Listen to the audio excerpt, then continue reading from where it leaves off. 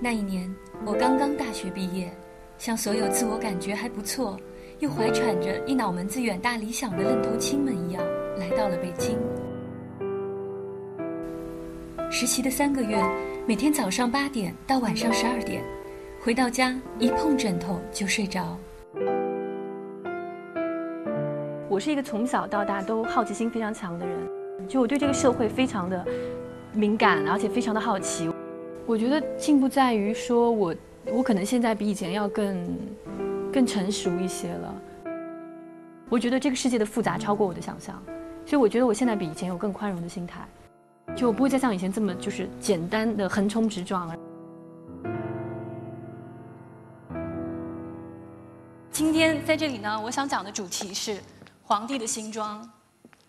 这是一个典型的关于真相和谎言的一个命题。因为两个裁缝是两个大忽悠，他们把皇帝给骗了。皇帝身上什么都没有穿，就上了大街。只有一个小朋友，他无知无畏地说：“Hey，but he has nothing on。”他什么都没有穿啊。这个小孩看起来很天真，可实际上他就是内地新闻界对于我们传媒人士的要求。因为很多的时候，真相是被遮蔽的。一九九六年五月十七日，新闻调查播出了第一期节目《红志班》，以其理性、深入、平衡的准则，揭开了中国中央电视台长篇深度新闻节目的第一页。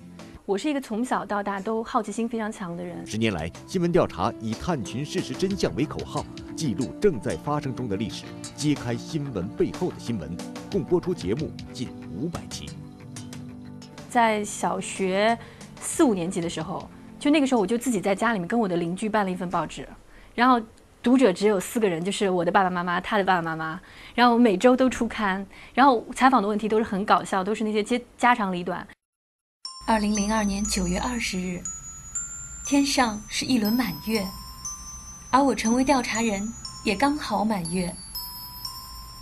今天夜里加班，回来时已将近午夜，可是心里翻江倒海。快乐的想飞。也许今天是我到新闻调查以后最开心的日子，因为我得到了制片人张杰的赞许。一群患有先天血液症的孩子。Hello，你好。一场期待能够彻底拯救孩子的手术。我相信医生，我也做了九亿，成功了，给女儿一个机会。一个始料未及的惨痛结局。虽然学的不是新闻，但是我一毕业我就希望说能有机会来做一个记者。中国有一个有一个纪录片，呃，有个栏目的名字叫叫记事，它的 slogan 是，呃，行进中的影像中国。我希望能够用影像，或者用我的观察，用我的思考，用我的发问去记录变化中的中国。这是一份沉重的名单，名单上的孩子在一年多的时间里。接受同一种手术，并连续死亡，这是一场异常昂贵的手术，代价是几十万人民币，加上孩子的生命和全家人终生的痛苦。而这场手术对外承诺的成功率是百分之九十三。那时候，这个百分之九十三这个数字对你们来说意味着什么？意味着很大很大信心的成功了。你决定去做这个手术的时候，你自己是有信心的？我是百分之一百的信心的。你相信谁呢？我相信医生。我也相信这个医院，因为中国的老百姓其实他们的神经纤维都非常粗大，他们比就是所谓的发达社会的很多的老百姓都要更强悍。实际上他在找到你的时候，他其实已经经历过无数次被媒体拒绝，然后包括无数次的这个被被被被侮辱、被欺骗、被被被压榨。就在中国做一个小民，真的就像一个小蚂蚁一样。所以我们试图来假设这个皇帝是什么样的心态呢？假设一。皇帝也是被蒙蔽的，那么在这种情况下，媒体能做什么呢？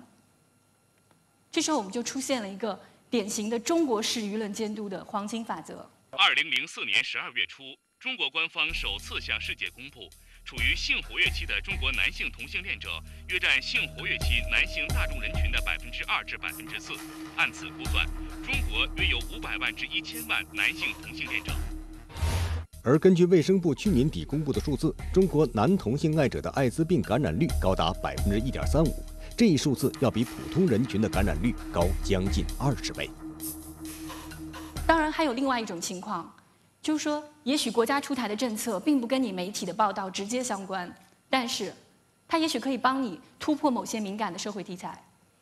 举个例子来说，同样在二零零五年，我们做了一期关于中国男性同性恋状况的生存调查，这是第一次在中央级的媒体上，大家愿意去承认说中国有这么大范围的同性同性爱群体。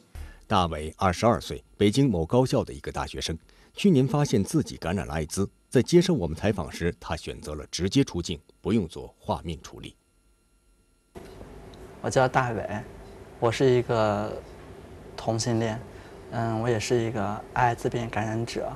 你清楚，如果说这样的镜头在电视上播放之后，你的生活还有你的家庭会受到的影响？我就是想以我一个真实的身份来面对这个镜头，让更多的人来了解同性恋和艾滋病这两个群体。你是独生子吗？对，是。你当时是明确告诉你父母你得的是艾滋病？对。他们的反应呢？妈整整病倒一个星期没有起来。那我妈是真的想不通。他们知道我也不是那种坏孩子，所以说他们根本就不会想到我能感染这个病。但是他们就有一点不知道，因为我是同性恋嘛。同性恋们之间的情感是一种什么样的情感呢？我们在重庆见到了小杨和小江，他们在一起生活了已将近四年。你怎么形容你这个情感？爱人。你们这种生活的打算能够做到多远呢？已经策划到四十岁了，暂时。已经计划到四十岁了。基本是十几二十年以后的事情哈。对对对对。一个母亲带着一个刚刚二十岁的孩子，她的孩子本身是这个同性爱者。那个母亲告诉我，我早知这样，他生下来我就该把他掐死。有同性恋者在给张北川的信中写道。我们这种人生到世上就被打上了不幸的烙印，注定了绝大多数人的一生都是灰暗的。我见过这种人，他最后是出家了，他最后的结果是，他对性感到整个的厌恶。这并不能使他变成一个喜欢异性的人，这是最关键的。你这个节目名字叫《以生命的名义》，我们是以关注的角度去关注这个群体的健康的角度去切入。所以才为这个节目赢得了播出的可能和窗口。结婚之后啊，你们会有正常的夫妻生活吗？我没有那种亲密的感觉，嗯，就好像是总感觉他在履行一种义务。那比如说，呃，你想跟他很亲密的时候，你表达出来，他会什么反应呢？那他就是经常很本能的就把身体缩成一团儿。